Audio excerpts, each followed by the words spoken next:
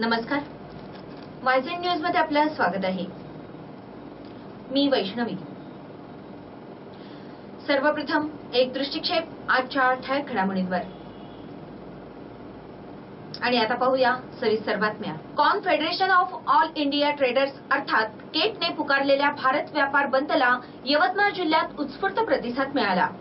यावेळी विविध संघटनांनी जिल्हा कचेरीवर धडक देऊन निवेदन देण्यात आले. चेंबर ऑफ कॉमर्स व अन्य व्यापारी संघटनांनी बंदमध्ये सहभाग घेत महाजनवाडीतून मोटरसायकल रॅली काढली. हार्डवेअर असोसिएशन व्यापारी संघटना कपडा व्यापारी सराफा संघटनाही या बंदमध्ये सहभागी झाल्याने जिल्ह्यातील सर्व बाजारपेठा बंद आहे. वॉलमार्ट फ्लिपकार्टचा व्यवहार रद्द केला जावा. किरकोळ बाजारात थेट विदेशी गुंतवणुकीला दिलेला प्रवेश रद्द करावा.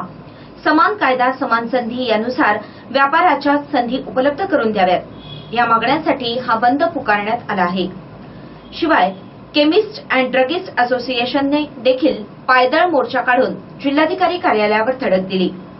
व सर्व औषधी दुकाने बंद ठेवली. देशात व राज्यात इंटरनेट फार्मसीच्या माध्यमातून बेकायदेशीरपणे ऑनलाईन औषधी विक्री व ई पोर्टल याबाबत शासन प्रशासनाची सकारात्मक भूमिका या विरोधात औषध व्यावसायिकांनी घोषणाबाजी केली. याच मागणीवर उमरखेड आणि आर्णीतही कडकडीत बंद पाळण्यात आला. बघूयात.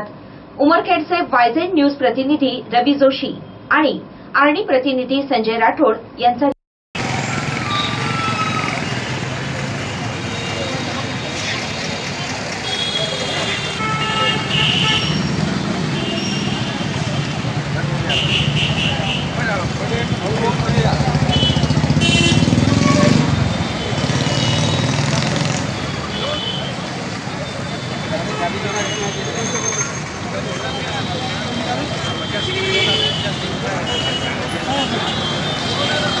आज आपल्या अठ्ठावीस सप्टेंबर आज आपण Akhil Bharatiya chemist and drug असोसिएशनचा आपण ऑनलाईन फार्मसीचा जो व्यवसाय करण्याकरता सरकारने जी परमिशन दिलेली आहे त्याच्या विरोधात हा आपला मोर्चा आहे.